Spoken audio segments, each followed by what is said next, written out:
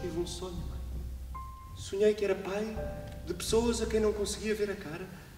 E uns, mãe, queriam oferecer-me flores e abraçar o pai que não conheciam e outros rogavam pratas. Que morra no inferno, que rebenta a tripa de tão cheio. E todos os meus filhos foram chegando a mim, mãe. E tocaram-me e empurraram-me para um trono que era também um cadafalso. Morto ao pai, viva o pai! Gritavam e gastavam o meu nome Salazar, Salazar.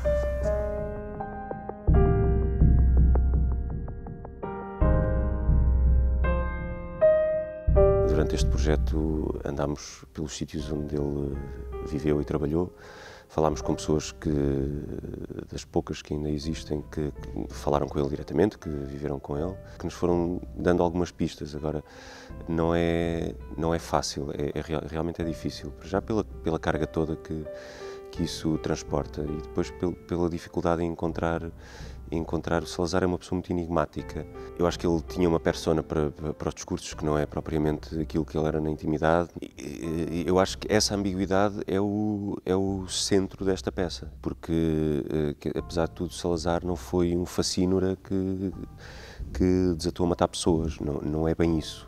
Uh, tinha, tinha esse lado negro e tinha outro lado uh, e tinha outro lado que, que há muita gente que hoje ainda defende e nós, e nós contactámos com imensas pessoas que defendem o Salazar. Tudo isso é fascinante, meus amigos, mas a mim não interessa nada. A mim interessa o bicho.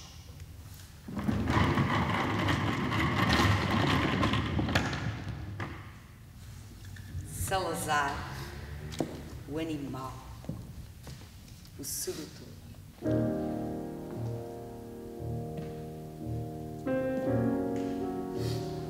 Talvez ele pudesse ter sido ator. Não me custa imaginar. Passo firme. A sombra do chapéu a cobrir-lhe os olhos. Porta coisas que são verdade, há coisas que são ficcionadas, há coisas que, que são verdade, mas tivemos que dar um toquezinho para encaixar no texto, na cena. Há coisas muito circunstanciais, há outras que não. Nós não tínhamos um texto quando chegámos aqui. Tínhamos uma equipa de, de, de atores, tínhamos um escritor, que é o Nuno Camarneiro, tínhamos uma equipa de historiadores e a partir daí fomos construindo devagarinho aquilo que hoje são as cenas do espetáculo. Podíamos, Podíamos casar. casar. E podíamos ir de lua de mel. Sim, a mel gasto. Para Porto Rico. Ou isso. Então para o Rio de Janeiro. Sim, o Redentor. Copacabana, Ipanema.